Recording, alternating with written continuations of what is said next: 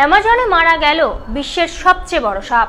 অ্যালাগোন্ডার মৃত্যু ঘিরে ঘনাচ্ছে রহস্য। বিশ্বের সর্ববৃহৎ সাপকে গুলি করে হত্যা। অ্যামাজনের ঘন জঙ্গলে বিশ্বের সবচেয়ে বড় সাপটিকে পাওয়ার খবর বেরিয়েছিল গত মাসে। তবে কয়েক সপ্তাহের মধ্যেই সেই সাপটিকে গুলি করে হত্যা করল শিকারীরা।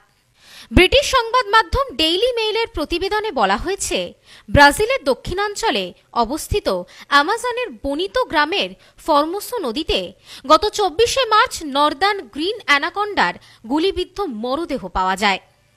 এই বিষয়ে বিশেষজ্ঞরা জানান, সাপটি গাড়ির টায়ারের মতো মোটা ছিল ২৬ ফুট লম্বা এবং চারশো চল্লিশ পাউন্ড ওজনের। সাপটির মাথা ছিল মানুষের মাথার সমান।